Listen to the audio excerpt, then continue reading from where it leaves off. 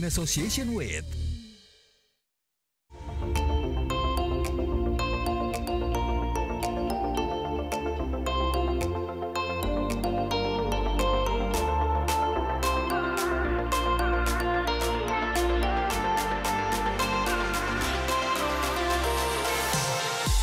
Tak pernah terbersit dalam benak Agus Trisantosa, kegemarannya membuat baju batik dan lurik dengan kombinasi warna dan motif untuk keperluan pribadi justru membawanya menekuni bisnis Adi Busana. Berbekal modal nekat, Agus dan sang istri Elva Fahrima pun membuka usaha fashion etnik pada tahun 2011. Nah waktu itu ada eh, pengurangan di kantor gitu, jadi kita udah khawatir setelah kalau di PHK kita mau bisnis apa gitu. Nah akhirnya eh, kita waktu jalan-jalan ketemu satu toko batik di satu mall. Nah mereka nawarin karena saya pakai batik tiap hari pakai batik kan. Eh, penjual itu bilang ya udah kamu kayaknya memang penggemar batik ya udah bikin aja masukin sini gitu. Terus akhirnya kita coba bikin 10 potong dengan konsep yang ya udahlah kita kan emang suka yang beda gitu akhirnya kita uh, bikin 10 potong kirim ke sana nggak lama lagi sekitar dua minggu tiga minggu ditelepon lagi ini bajunya udah habis gitu Apiman yang dalam bahasa Indonesia berarti bagus kali ini dipilih sebagai jenama produk mereka. Apiman pun menggandeng lebih dari 15 pengrajin dari berbagai kota. Dengan tagline etnik, CJ, dan gaya, Agus dan Elva berharap sang pemakai terlihat beda namun tetap trendy dalam balutan fashion etnik tradisional.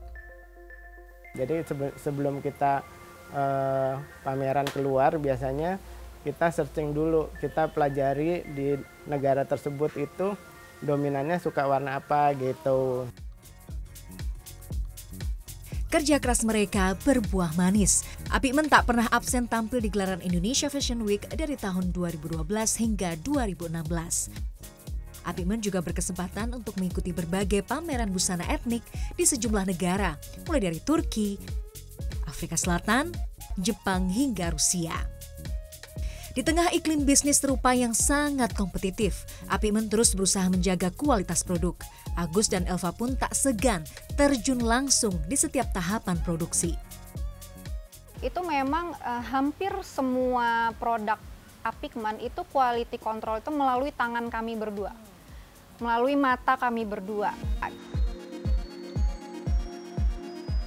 Perpaduan warna yang menarik sekaligus desain batik yang tak biasa membuat Apikmen digemari berbagai kalangan. Dudi Oris, mantan vokalis Yofi and Nuno yang kini tengah bersolo karir ini mengaku jatuh cinta dengan koleksi Apikmen yang unik dan berbeda.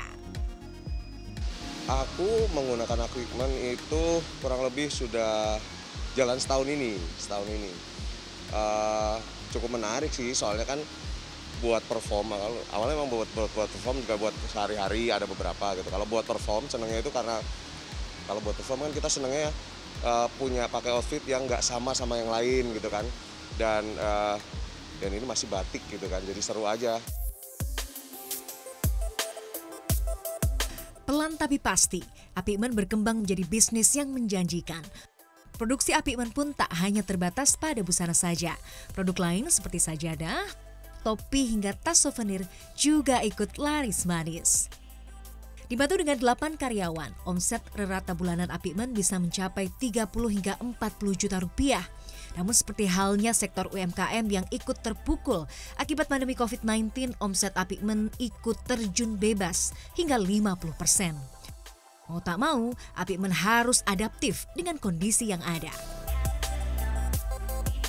Proses produksi Apikmen selalu menerapkan protokol kesehatan yang dianjurkan pemerintah. demi itu kita langsung stop produksi baju produksi eh, apa celana gitu ya kita langsung bikin masker dan alhamdulillah di awal Maret itu kan belum banyak yang bikin masker. Jadi begitu kita selesai langsung habis selesai habis gitu. Karena memang kebutuhannya saat itu banyak. Ya, di masa pandemi ini, Apikmen mendapat banyak manfaat melalui program bertajuk Beli Kreatif Lokal yang digagas oleh Kementerian Pariwisata dan Ekonomi Kreatif Kemenparekraf. Kampanye ini terbukti tidak hanya mendongkrak penjualan, tetapi juga membantu Apikmen dalam kepengurusan aspek legal. Uh, selain dari yang sudah kami sebutkan tadi, itu ada juga yang uh, penyusunan laporan keuangan secara uh, sistem. Nah, itu kebanyakan UMKM kan belum uh, secara sistem melakukan pembukuannya. Nah, terus ada juga insentif perpajakan, itu juga kami difasilitasi, dibantu. Nah, ini saya kira program ini sangat bagus terutama buat UMKM yang uh, tadinya uh, gaptek atau tidak aware ke digital, sekarang jadi UMKM go digital gitu. Hampir satu dekade berselang, Apimen telah memiliki tiga gerai di Jakarta dan Kuala Lumpur, Malaysia.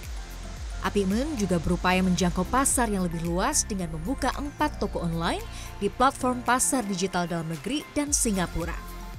Perlahan, usaha kecil ini terus tumbuh dengan cita-cita besar, menguatkan akar budaya bangsa, sekaligus dengan bangga mengenalkannya pada dunia. Tim Liputan CNN Indonesia.